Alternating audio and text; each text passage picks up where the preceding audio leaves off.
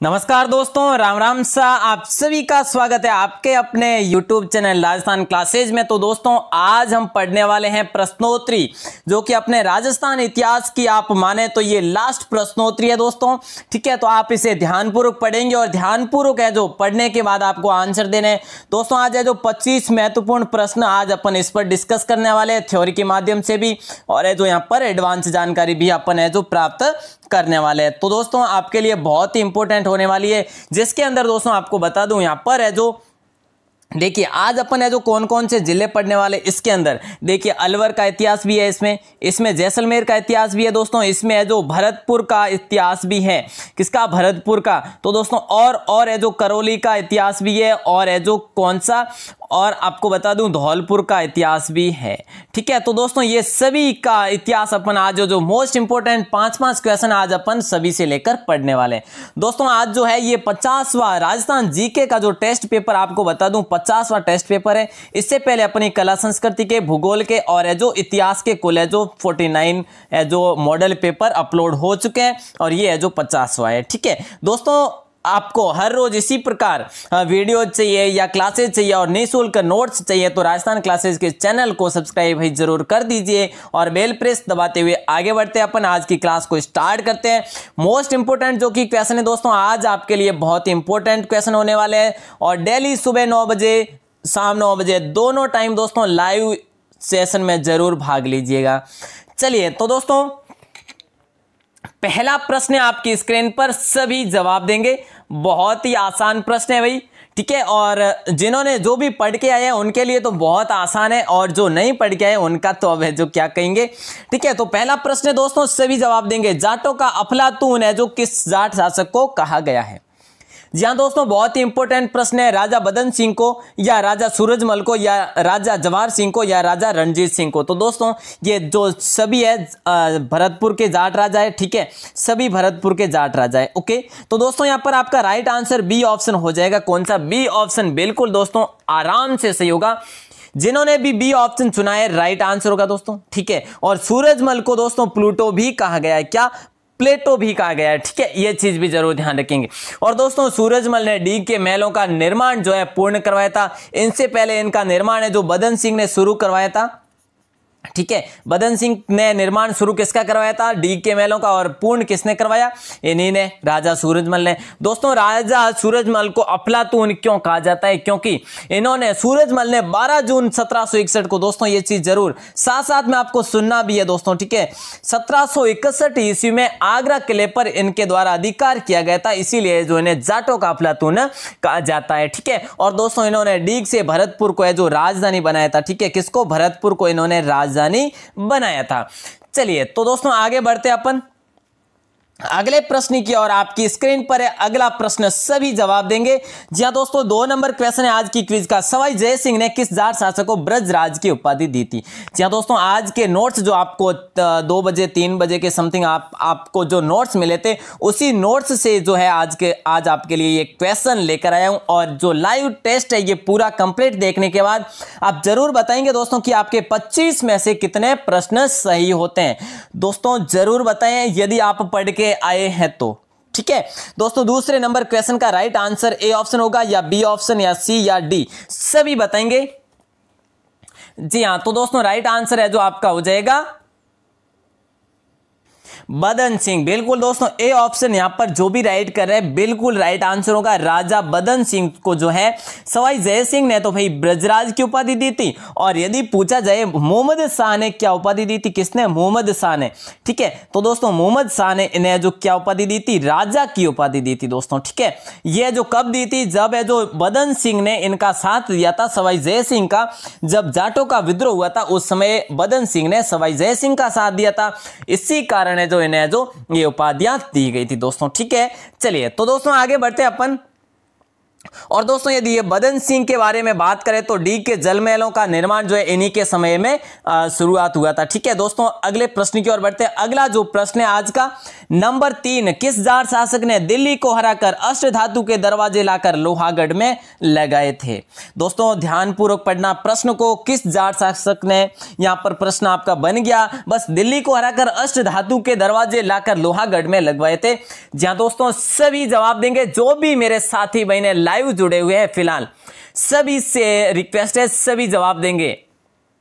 जी हाँ दोस्तों, आज आपके लिए प्रीमियर लाइव है, न कि लाइव स्ट्रीम है। प्रीमियर लाइव है दोस्तों, सभी जवाब देवे यदि कोई इंपॉर्टेंट है तो मैं आज ज़रूर आपके प्रश्नों का, ज़रूर आपकी क्वेरीज का आंसर दे रहा हूँ यहाँ पर बीच में, ठीक है? तो दोस्तों, बिल्कुल आपका राइट जो आंसर हो जाएगा, जवाहर सिंह हो जाएगा, ठीक है? कौन सा? जवाहर सिंह, जो कि दोस्तों, ये जो अष्ट धातु के लाए थे, किसको हराकर? शाह आलम सेकेंड को हराया था, कब? सत्रह में दोस्तों। ठीक है सत्रह के अंदर शाह आलम सेकंड को हराकर मतलब दिल्ली पर आक्रमण किया लाल किले से अष्ट धातु के दरवाजे लाए और भरतपुर दुर्ग में लगवाए। और दोस्तों आपको यह चीज़ भी ध्यान रखनी है कि दिल्ली विजय जब इन्होंने की थी दिल्ली विजय की उसके बाद इन, इनके द्वारा क्या बनवाया गया था? जवाहर बुर्ज बनवाया गया था दोस्तों। ठीक है क्या जवाहर बुर्ज जो कि कहाँ पर बना हुआ है? लोहागढ़ दुर्ग में बना हुआ है। जी हाँ दोस्तों ये चीज़ आपको ज़रूर ध्यान रखनी है। ठीक है ऐसे प्रश्न भी कई बार बन जाए तो आपको है जो बिल्कुल आसानी से ध्यान रखने दोस्तों, नंबर चार क्वेश्चन दोस्तों, अपन एडवांस पढ़े इसलिए थोड़ी सी है जो थोड़ा सा टाइम लगेगा, ज़्यादा नहीं, अपन है जो 25 20 से 25 मिनट में क्विज ज़रूर खत्म कर लेंगे, ठीक है? एडवांस वही ज़रूर पढ़ेंगे एडवांस के बिना तो बिल्कुल आनंद ही नहीं रहेगा। तो दोस्तों, चार नंबर क्वेश्चन है, राजस्थान में अंग्रेज़ों की सर्वप्रथम मैत्री संधि किस राज्य से हुई थी? जैसा कि ए ऑप्शन है भरतपुर बी ऑप्शन है धौलपुर सी ऑप्शन है सिरोई या सीकर। क्या दोस्तों राइट आंसर जो है आपका हो जाएगा मैत्रीपूर्ण संधि का पूछा है ठीक है? अधीनस्थ का नहीं पूछा है तो दोस्तों, आपका ए ऑप्शन बिल्कुल राइट आंसर हो जाएगा, भरतपुर का हो जाएगा, ठीक है दोस्तों? तो देखिए, यहाँ पर अगर पूछा जाए आपको तो दोस्तों, भरतपुर ने कब की थी? तो दोस्तों, उन्तीस सितंबर को की थी। ठीक है, कब? 29 सितंबर 29 सितंबर कब? 29 सितंबर 1803 में की थी दोस्तों, ठीक है? और जो उस समय जो थे कौन? रणजीत सिंह थे।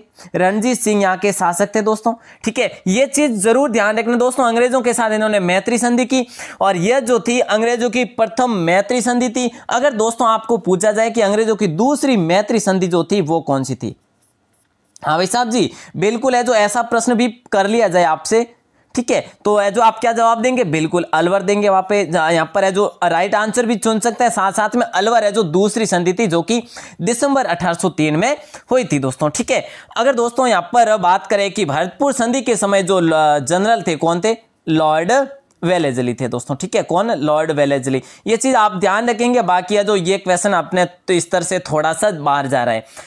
चलिए दोस्तों अगले प्रश्न की ओर बढ़ते हैं। अगला जो प्रश्न आता है आपकी स्क्रीन पर, स्वतंत्रता के बाद भरतपुर को कौन से संघ में विलय किया गया? जी हाँ दोस्तों राइट आंसर मत्स्य संघ होगा राजस्थान संघ होगा, या फिर व्रत राजस्थान संघ होगा, या इनमें से कोई नहीं होगा। तो देखिए दोस्तों, यहाँ पर आपका राइट आंसर हो जाएगा सभी का, जिन्होंने भी ए ऑप्शन चुना है, मत्स्य संघ। ठीक है कौन सा मत्स्य संघ हो जाएगा? आराम से बिल्कुल, और इनको जो राजस्थान में उन्नीस को मिला लिया गया था। ठीक है, और दोस्तों उसके बाद जो इन्होंने पुनः संधि पर हस्ताक्षर किए थे, उस संधि को इन्होंने रणजीत सिंह ने बिल्कुल खारिज समझा था। उसके बाद अंग्रेज़ों ने यहाँ पर आक्रमण भी किया था, लोहागढ़ दुर्ग पर अठारह दोस्तों दस हजारी सेना के द्वारा 1805 में। ठीक है तो ये चीज़ भी ज़रूर ध्यान रखेंगे दोस्तों, और 1805 में है जो इन्होंने फिर से संधि की मतलब एक नई संधि पर है जो हस्ताक्षर हुए, और इस संधि में इन्होंने जो मराठों व अंग्रेज़ों के आक्रमणों से सुरक्षा ली थी दोस्तों, ठीक है? चलिए अगले प्रश्न की ओर दोस्तों बढ़ते हैं, और अगला प्रश्न है आपकी स्क्रीन पर, और बताएँगे सभी जो भी लाइव जुड़े हुए हैं, ठीक है? देखिए दोस्तों आप में से जो भी जुड़े हुए हैं जैसे कि 50, 60, 70, 80 जितने भी लाइव जुड़े हुए हैं ठीक है? इनमें से आप में से आधों के जवाब आ रहे हैं आधों के नहीं आ रहे। क्यों नहीं आ रहे भाई? आधों के जवाब आने चाहिए ना। फिर आप जवाब कब देंगे? आपके एग्ज़ाम तो आ रहे हैं नज़दीक। आप भी अपने जवाब दीजिए दोस्तों। थ्योरी क्लास में भाग लीजिए। थ्योरी आपको यदि समझ में नहीं आती है तो भाई आपके लिए नोट्स उपलब्ध करवा रहे हैं। नोट्स तो पढ़िएगा। यदि आपको नोट्स सही से समझ नहीं आते तो भाई थ्योरी पढ़िए। दोनों में एक न एक तो आपको अवश्य आशा करता हूँ आपसे गारंटी लेता हूँ एक नेक आपको ज़रूर समझ में आएगा दोस्तों। तो आप ज़रूर है जो उस, उसे पढ़िए उसके बाद आपका टेस्ट दीजिए ताकि आपका क्लियर एक ही दिन में जो भी आप टॉपिक पढ़े वो टॉपिक आपका एक ही दिन में क्लियर हो जाए टेस्ट के माध्यम से, ठीक है? तो दोस्तों, यहाँ पर प्रश्न क्या पूछा है? नंबर छह प्रश्न। ग्यारहवीं सदी के बाद धौलपुर पर किस राजवंश का अधिकार हुआ था? जी हाँ दोस्तों, ए ऑप्शन है तोमर वंश शासकों का, बी ऑप्शन है चौहान वंश शासकों का, सी ऑप्शन है यदुवंशी शासकों का और डी ऑप्शन है इनमें से कोई नहीं। तो दोस्तों, यहाँ पर यदुवंशी कहो या यादव वंशी कहो तो दोस्तों, आपका राइट आंसर जो है ये सी ऑप्शन बिल्कुल आसान सा हो जाएगा सी ऑप्शन मतलब कि करौली के यादों का यहाँ पर शासन हो गया था। कब? ग्यारह सदी के बाद में दोस्तों, ठीक है? ग्यारह सदी के बाद की बात करें, यदि इससे पहले की बात करें दोस्तों, ठीक है? पहले की बात करूँ मैं यहाँ पर, आप ज़रूर ध्यान रखेंगे। सातवीं सदी की बात करें तो दोस्तों, ढोलनदेव नाम जो तोमर ढोलन देव तोमर का यहाँ पर शासन हुआ था। ठीक है, इन्होंने शासन किया। आठवीं सदी की बात करें तो दोस्तों, आठवीं सदी में चौहानों ने यहाँ पर राज्य स्थापित किए। अब यहाँ पर आठवीं से ग्यारहवीं तक तो इनका रहा था चौहानों का। अब ग्यारहवीं सदी में जो किसका? तोमर वंशीय धवल देव ने बीलपुर के पास है, जो धवलपुर नगर बसाया था दोस्तों। इसी धवलपुर नगर का नाम है, जो धौलपुर नगर पड़ा था दोस्तों, ठीक है? बिल्कुल दोस्तों, उम्मीद करता हूँ मैं आपके लिए एक एक बार ही बता रहा हूँ, और एक एक बार क्यों बता रहा हूँ, रिपीट क्यों नहीं कर रहा हूँ? क्योंकि अपन थ्योरी के माध्यम से तो वही एक बार पढ़ चुके हैं सुबह की क्लास में, ठीक है? इसीलिए जो यहाँ पर आपके लिए एक एक बार बता रहा हूँ, हो सकता है आपको है, जो बिल्कुल ध्यान में रहे, आपके लिए याद रहे। अच्छा दोस्तों, अगला प्रश्न है, सातवा और दुर्ग का जो धौलपुर दुर्ग का निर्माण किसके द्वारा करवाया गया, ये बताना है। बहुत आसान सा प्रश्न है। तोमर राजा धवलदेव ने, यादव राजा धर्मपाल ने, बादशाह अकबर ने या यादव राजा विनायक देव ने? तो राइट आंसर दोस्तों, इनमें से आप में से जो भी है ना बी ऑप्शन चुन रहे बिल्कुल राइट होगा भाई। यादव राजा धर्मपाल के द्वारा धौलपुर दुर्ग का निर्माण करवाया गया। ठीक है तो दोस्तों, अगर पूछा जाए कि कौन से सन में करवाया गया करवाया गया तो दोस्तों, ग्यारह ईस्वी में करवाया गया। कब? ग्यारह ईस्वी में। ये चीज़ भी आपको ध्यान में रखनी है भाई। ठीक है, और दोस्तों, इनके बाद जो हुए थे विनायक देव की, अगर हम बात करें ये विनायक देव, इन्होंने दोस्तों सुल्तान सिकंदर लोदी से युद्ध लड़ा था। ठीक है, इन दोनों के मध्य युद्ध हुआ था। ये युद्ध कब हुआ था? 1502 में। ये जो देखिए जो धर्मपाल है, इन्हीं के वंशज के जो राजा हुए थे, विनायक देव, ठीक है? और इन दोनों के बीच में बड़ी कठिनाई से लोदी की विजय हुई थी और धौलपुर पर उनने, उसने जो अधिकार कर लिया था और उसके बाद जो लोदी का अधिकार हुआ धौलपुर पर और लोदी के अधिकार के बाद जो बाबर ने भी यहाँ पर अधिकार कर लिया था। दोस्तों, ये क्विज भी आपको जल्दी मिल जाएगी क्योंकि यहाँ पर आंसर जो है, यहाँ पर बिल्कुल दे रखे हैं और ये आंसर इसीलिए है जो यहाँ पर सेटअप किए ताकि जो आपको क्विज है जो जल्द जल्दी में मिल जाए। दोस्तों, आठवां क्वेश्चन है, धौलपुर के पहले राणा शासक कौन थे? देखिए दोस्तों राणा शासक ठीक है, यहाँ पर ये शाखा के रूप में आप लेंगे इसे। राणा शासक जो थे, वो कौन थे? धर्मपाल थे, या कल्याण सिंह थे, या कीर्ति सिंह थे, या उदय बान सिंह थे दोस्तों। ठीक है तो यहाँ पर आपका सी ऑप्शन जो भी राइट जो भी चुन रहे ना, बिल्कुल दोस्तों राइट आंसर हो जाएगा। कीरत सिंह भी कह सकते हैं ठीक है, और कीर्ति सिंह भी कह सकते हैं, ठीक है। तो दोस्तों ये चीज़ जो है, जो आपको ध्यान में रखनी है। और दोस्तों, ब्रिटिश शासन के दौरान अठारह की क्रांति में जो दोस्तों, क्रांतिकारी सैनिकों ने धौलपुर पर अधिकार किया था, जो कि कौन थे उस समय अठारह की क्रांति के क्रांतिकारी? वो थे राव, रामचंद्र और हीरालाल, दोनों के नेतृत्व में यहाँ पर जो बिल्कुल धौलपुर पर अधिकार किया गया था। दोस्तों, अगला प्रश्न है नौ नंबर पे और राइट आंसर है जो सबसे पहले देखते हैं, कौन देते हैं? बहुत ही आसान प्रश्न ये भी। दोस्तों, मैंने आपको पहले से ही बता दिया, हर हर एक राज्य से मतलब कि उस समय जो राज्य कहलाए जाते थे, जैसे कि धौलपुर राज्य, भरतपुर राज्य, उस समय राज्य कहलाए जाते थे, ठीक है? तो इनमें से अपन पाँच पाँच क्वेश्चन सभी जिलों से लिए ये, ठीक है? लास्ट पार्ट है दोस्तों, ध्यान से पढ़ेंगे, ध्यानपूर्वक पढ़ने के बाद जो आपको ये मिल भी जाएगी क्विज भी मिल जाएगी पीडीएफ के रूप में। चलिए तो दोस्तों राइट आंसर इस प्रश्न का धौलपुर शासक को मत्स्य संघ के किस पद पर नियुक्त किए थे? ठीक है, धौलपुर के शासक कौन दोस्तों? यहाँ पर शासक का नाम नहीं लिख पाया। तो दोस्तों, शासक आपको ध्यान रखना है, उदय भान सिंह, ठीक है? तो दोस्तों, यहाँ पर ध्यान रखिए, उदय भान सिंह, ठीक है? अब बता दीजिए, सभी बताएँगे भाई। देखिए, उदय भान सिंह जो कि धौलपुर के शासक थे, और मत्स्य संघ के किस पद पर मत्स्य संघ बनाया गया, उसमें किस पद पर वह जो इनको नियुक्त किया था? दोस्तों, ये बताना है, प्रधानमंत्री नहीं होगा, सदस्य नहीं तो राज प्रमुख जी हाँ बिल्कुल दोस्तों सी ऑप्शन आपका राइट आंसर हो जाएगा। इन्हें जो राज प्रमुख बनाया गया, उदय भान सिंह को बिल्कुल दोस्तों, अब देखिए दोस्तों, इनके बारे में अपन विस्तार से पढ़े तो एकीकरण में ही पता कर पाएँगे अच्छे से, ठीक है? तो एकीकरण में बिल्कुल अपन विस्तार से भी पढ़ेंगे नोट्स के माध्यम से पढ़ेंगे, और उसके बाद अपन अपन प्रश्नोत्तरी भी पढ़ेंगे दोस्तों, अच्छे से इसी प्रकार पढ़ेंगे, ठीक है? तो दोस्तों, आप में से कोई भी जो भी नए जुड़े आप सभी से मेरी रिक्वेस्ट है लास्ट जो अपलोडेड है, सारी जो भी अपनी क्लासेज है अपलोडेड है, दोस्तों, सभी की प्लेलिस्ट बन रखी है अलग अलग ये आज की जो टेस्ट की जो है सीरीज़ ये पचासवीं सीरीज़ है, भाग संख्या पचास है।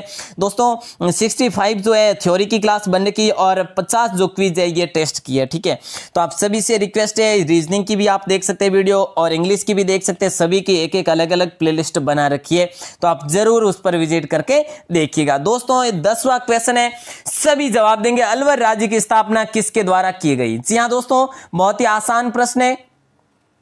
अलवर राज्य की स्थापना किसके द्वारा की गई? प्रताप सिंह नरुका या कल्याण सिंह नरुका या बख्तावर सिंह या उपरोक्त सभी? तो दोस्तों राइट आंसर यहाँ पर है जो जो भी चुन रहे हैं ए ऑप्शन बिल्कुल राइट आंसर है। प्रताप सिंह प्रताप सिंह नरुका है जो बिल्कुल दोस्तों, इनको है जो माचेडी की है, जो जागीर प्रदान की गई थी कल्याण सिंह को। उसके बाद है जो इन्होंने अलवर राज्य को है जो बिल्कुल स्थापना की थी दोस्तों। ठीक है, भरतपुर से अलग करके। दोस्तों, अगला जो प्रश्न है, अगला प्रश्न बहुत ही इंपॉर्टेंट प्रश्न है भाई। हाँ तो दोस्तों, अगला जो प्रश्न है, ग्यारहवें नंबर पे प्रश्न है, सभी जवाब देंगे अपने 25 इंपोर्टेंट क्वेश्चन है आज। ठीक है? तो दोस्तों, ग्यारह प्रश्न है अलवर के किस शासक ने, अलवर के किस शासक ने नवंबर 1803 में, दोस्तों, ध्यानपूर्वक पढ़ना है, नवंबर 1803 में ईस्ट इंडिया कंपनी से संधि की। दोस्तों क्वेश्चन और आंसर आपको एक तो यहाँ पर मिल ही गया है कि अलवर के किस शासक ने नवंबर अठारह में यह चीज़ भी ध्यान रखेंगे, को है जो संधि की थी। तो दोस्तों, अभी तो अपन ने ये जो चीज़ क्लियर की है और सभी बताएँगे यहाँ पर। बिल्कुल दोस्तों, यहाँ पर ए ऑप्शन जो भी चुन रहे हैं ना भैया बहन, बिल्कुल राइट आंसर हो जाएगा बख्तावर सिंह, ठीक है? बख्तावर सिंह आपका सही उत्तर हो जाएगा दोस्तों, ठीक है? तो दोस्तों, देखिए, आपको ध्यान में रखना है कि बख्तावर सिंह ने दो कविताएँ भी लिखी थी, जो कि जिसका नाम था बख्तेज क्या क्या बख्तेश और और है जो एक नाम था चंद्रमुखी, दोस्तों, ठीक है? तो ये दोनों चीज़ें भी ध्यान रखेंगे, दो कविताएँ लिखी गई थी इनके द्वारा, और इन्होंने जो नवंबर 1803 में अलवर के राजा के रूप में इन्होंने ईस्ट इंडिया कंपनी से संधि कर ली थी, ठीक है? अगला प्रश्न है दोस्तों, बारह नंबर पे बहुत ही इंपॉर्टेंट प्रश्न है। ये क्वेश्चन आपको कई बार एग्ज़ाम्स में भी देखने को मिला हुआ है, ठीक है? कॉम्पिटेटिव एग्ज़ाम में। तो दोस्तों, देखिए, अलवर में 28 अस्सी खंभों की मूची महारानी की छतरी किस शासक ने बनाई थी?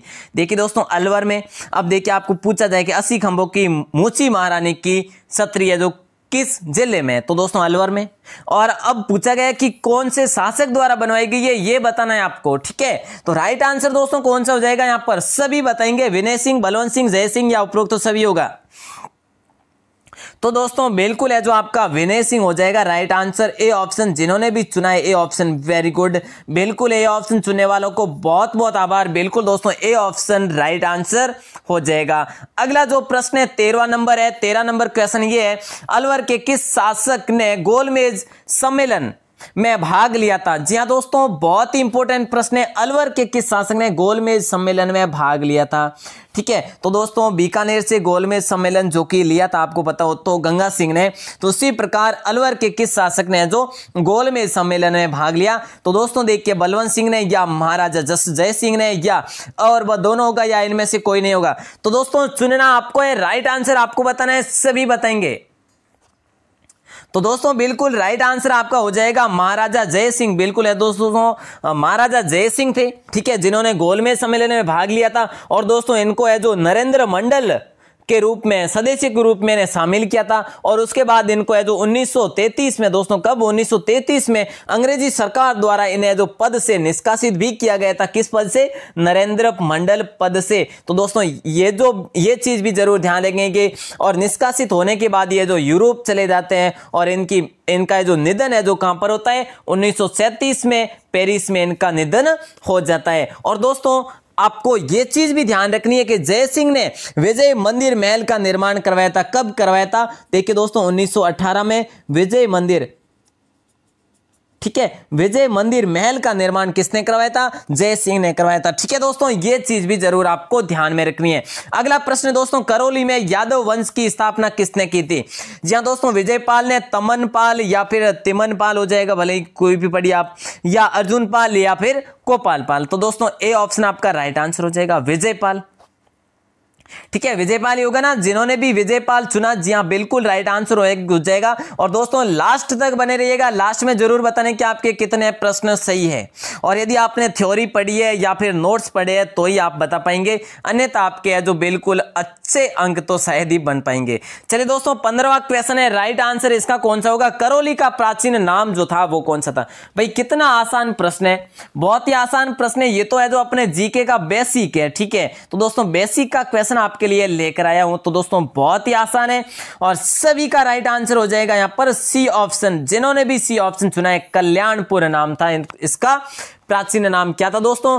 कल्याणपुर था, ठीक है? तो ये चीज़ है जो आपको है, जो ध्यान रखनी है दोस्तों। और कल्याणपुर, देखिए दोस्तों, कल्याणपुर की अगर बात करें तो ये जो 1348 में किसके द्वारा बचाया गया ये भी ज़रूर देख लीजिएगा अर्जुन पाल द्वारा। ये जो अर्जुन पाल, कौन? अर्जुन पाल द्वारा विजयपाल के वंश के दोस्तों ये हुए थे शासक अर्जुन पाल, ठीक है? इन्होंने 1348 में क्या बचाया? कल्याणपुर बचा है। इसी का नाम है जो करौली रखा गया बाद में। ठीक है दोस्तों तो ये चीज़ है जो ऐसे इस प्रकार आपको ध्यान में रखनी है। और करौली को दोस्तों, राजधानी जो बनाया ना, सबसे पहले किसने बनाया? 1650 में धर्मपाल सेकेंड ने बनाया था, ठीक है? तो आप ज़रूर है जो साथ साथ में सुनना भी है आपको। दोस्तों, सोलवा क्वेश्चन है और राइट आंसर सभी देंगे। जी हाँ देखिए, करौली में मदन मोहन मंदिर का निर्माण किस शासक के द्वारा करवाया गया? करौली में मदन मोहन मंदिर है दोस्तों, इसका निर्माण है जो किस शासक द्वारा करवाया गया? जैसा कि यहाँ पर ऑप्शन ऑप्शन है। गोपाल पाल, अर्जुन पाल, हरबक्स पाल या मदन पाल। तो दोस्तों, आपका राइट आंसर यहाँ पर हो जाएगा गोपाल पाल। बिल्कुल दोस्तों, गोपाल पाल हो जाएगा। ए ऑप्शन बिल्कुल करेक्ट आंसर हो जाएगा गोपाल पाल। ठीक है? चलिए तो दोस्तों, आगे बढ़ते अपन। और अगला प्रश्न है सत्रवा प्रश्न। और सत्रवा प्रश्न क्या है दोस्तों? अठारह सौ सत्तावन के विद्रोह के समय करौली के कौन से शासक ने कोटा महाराव राम सिंह की सहायता हेतु सेना भेजी थी। और दोस्तों, इस क्वेश्चन के बारे में मैंने आपको थ्योरी क्लास में भी बताया था। थ्योरी लाइव सेशन में भी आपको बताया था कि ये क्वेश्चन ज़रूर ऐड करूँगा आपकी प्रश्नोत्तरी में। तो दोस्तों, जो भी पढ़कर आए हैं, इस प्रश्न को ध्यान में रखकर आए हैं तो सभी बताएँगे, यहाँ पर राइट आंसर चुनेंगे, बिल्कुल। जी हाँ दोस्तों, देखते हैं कौन कौन है जो यहाँ पर राइट आंसर चुन लेते हैं। बिल्कुल दोस्तों, यहाँ पर राइट आंसर हो जाएगा ए ऑप्शन जिन्होंने भी यहाँ पर ए ऑप्शन चुना, मदन पाल ने सहायता की थी। किसकी? महाराव राम सिंह की की थी, जो कि किसके शासक थे कोटा के शासक थे कब की थी भाई? अठारह विद्रोह के समय इनको क्रांतिकारियों ने घेर लिया था। उस समय किसने? मदन पाल ने इनके लिए सहायता के लिए एक करोल जो करौली से सेना भेजी थी दोस्तों, ठीक है? अगर दोस्तों अपन हर बख्श पाल के बारे में बात करें, ठीक है? थोड़ी सी बात करेंगे दोस्तों, आपके काम की चीज़ें। हर बख्श पाल ने दोस्तों 9 नवंबर 1817 को कब 9 नवंबर 1817 को अंग्रेज़ों से भाई संधि कर ली, ठीक है? कब? 9 नवंबर 1817 को अंग्रेज़ों से इन्होंने संधि कर ली और राजस्थान की पहली ऐसी रियासत जिन्होंने अंग्रेज़ों से अधीनस्थ संधि की दोस्तों, ठीक है? किसी अधीनस्थ संधि। ठीक है दोस्तों, याद रखेंगे, ध्यान रखेंगे, आगे बढ़ते अपन, अगला प्रश्न है। बहुत ही आसान प्रश्न है भाई। बूंदी में चौहान वंश के संस्थापक कौन थे, ये बताना है आपको। बूंदी में चौहान वंश के संस्थापक जो हुए थे, वो कौन हुए थे? दोस्तों, कहा जाता है कि बूंदी में बूंदी में जो हाड़ा चौहान हुए थे, ठीक है? तो आपको अब यहाँ पर बताना है राइट आंसर भाई, देखिए जैत्र सिंह नहीं होगा। तो तो क्या माधो सिंह होगा? माधो सिंह भी नहीं होगा। दोस्तों, इनके बारे में, सभी के बारे में बताएँगे कि ये जो कौन कौन थे, ठीक है? तो देखिए दोस्तों, जैत्र सिंह नहीं होगा माधो सिंह भी नहीं होगा तो दोस्तों आपका सी ऑप्शन बिल्कुल हो जाएगा, देवा हो जाएगा दोस्तों, ठीक है? अब देखिए दोस्तों, अगर बात करें, देवा जो थे, ये कौन थे? बूंदी के चौहान वंश के संस्थापक थे देवा, ठीक है? और इनके जो पौत्र हुए थे, ये कौन हुए थे? जैत्र सिंह। और जैत्र सिंह ने क्या किया था दोस्तों? एक कोटिया नामक कोटिया नामक जो भील था ये था पहले कोटा पर इसका शासन था, ठीक है दोस्तों? कोटिया नामक भील का। इसको है जो इसकी हत्या की गई, उसके बाद है जो जैत्र सिंह ने कोटा पर अधिकार किया दोस्तों, ठीक है? ये चीज़ भी आपको ध्यान में रखनी है।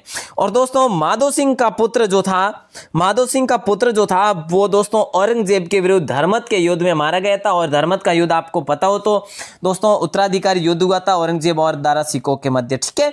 चलिए दोस्तों, अगला प्रश्न है, उन्नीसवा, अपने पच्चीस क्वेश्चन है, भाई, लास्ट तक बने रहना है आपसे सभी से रिक्वेस्ट है। ठीक है, दोस्तों, अगला प्रश्न है, कोटा से अलग होकर झालावाड़ कब स्वतंत्र राज्य बना? भी जी, बिल्कुल राइट आंसर है जो सभी भाई बहनों से रिक्वेस्ट है, जवाब देंगे। और राइट आंसर इसका हो जाएगा क्या? 1830 या 40 या अठारह या तो 35 1835 तो दोस्तों राइट आंसर जो आपका सी ऑप्शन हो जाएगा 1838 में कोटा से अलग होकर झालावाड़ है जो बिल्कुल दोस्तों राज्य बना था। ठीक है, ये चीज़ है जो आपको ज़रूर दोस्तों ध्यान में रखनी है। और देखिए, ये जो अलग बना उस समय इसकी राजधानी कौन सी बनी थी? जाला पाटन बनी थी दोस्तों, ठीक है? और ये दोस्तों किसको दी थी? मदन सिंह को। ये दोस्तों जागीर अलग से दी गई थी। किसके समय में? राम सिंह के समय में। ठीक है? और मदन सिंह को दिलवाई गई थी ये जागीर और अलग करके झालावाड़ की पूरी जागीर दिलवा कर स्वतंत्र राज्य बनाया गया। ठीक है दोस्तों? और राजधानी जो इसकी रही थी झालापाटन रही थी। चलिए अगले प्रश्न की ओर बढ़ते हैं दोस्तों।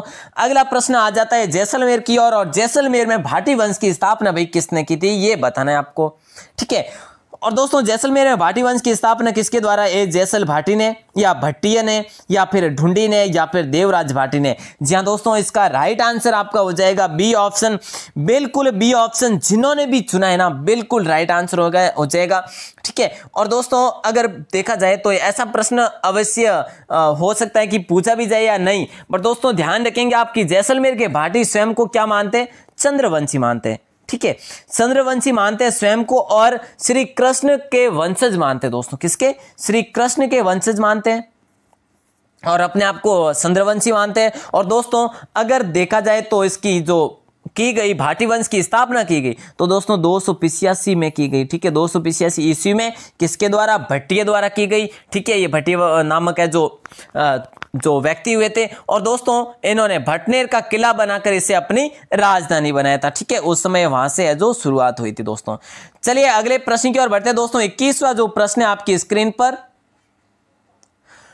और इक्कीसवा प्रश्न ये है कि जैसलमेर दुर्ग का निर्माण किस भाटी शासक द्वारा करवाया गया था? जी हाँ दोस्तों, कितना आसान प्रश्न है। अब मैं आपको यहाँ पर क्लियर करवा दूँ, जिसका निर्माण दोस्तों शुरुआत जो करवाई थी 12 जुलाई 12 जुलाई ग्यारह को है, जो इसका माना जाता है कि इस दुर्ग का निर्माण करवाया गया तो दोस्तों 12 जुलाई ग्यारह ठीक है, और इसको उस समय जैसलमेर को है, जो राजधानी भी बनाया तो दोस्तों तो इसका राइट आंसर आपका सभी का हो जाएगा ए ऑप्शन जिन्होंने भी यहाँ पर ए ऑप्शन चुना है, बिल्कुल राइट आंसर हो जाएगा। दोस्तों, आज प्रीमियर लाइव है स्ट्रीम लाइव नहीं कर पाया, ठीक है।